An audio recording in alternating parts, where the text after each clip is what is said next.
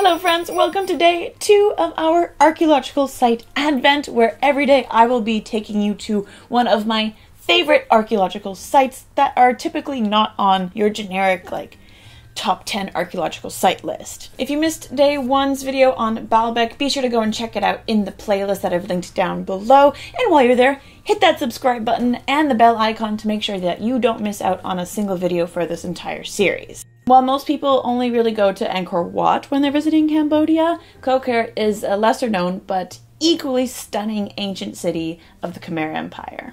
Located in a remote area about 120 kilometers away from the capital city of Siem Reap, a trip to Koh Ker may not be the easiest trek, but visitors are still able to go and marvel at about two dozen of the over 160 structures that cover the site. I wouldn't really suggest going off to find the rest of them though, because most of them are still hidden like deep within the forest, and the entire area has yet to be demined, so tread lightly, my friends. Koh Ker is a temple complex slash ancient city that was founded in the 10th century CE and was briefly the capital city of the Khmer Empire under King Jayavarman IV and his son from the years 928 CE to 944 CE. The site is home to at least 76 temples as well as civil structures, ponds, dikes, and roads. Jayavarman IV implemented a very impressive building program, which is how a lot of these structures originated. From inscriptions found at the site, it's estimated that more than 10,000 people lived at Koh Ker while it was the capital, and a unique sculptural style emerged at the site with the creation of these beautiful, expressive stone pieces. The site was really heavily looted during the Cambodian War from the 1970s to the 1990s, and a lot of these statues now stand in museums all around the world and in private collections. A lot of statues have since been removed from Koh Ker as well for just their own protection. A lot of them are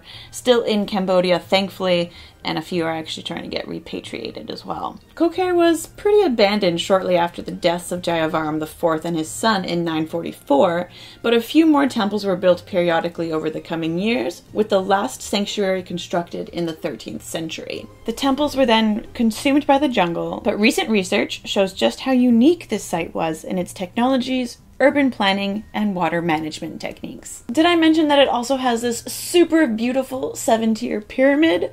Honestly, guys, do not sleep on Ker. After you visit this site, you're gonna be saying, like, Angkor, what? I'm sorry, guys, that was a really bad joke. And on that note, that is it for day two of our archaeological site advent. If you like that video, go ahead and smash that like button down below.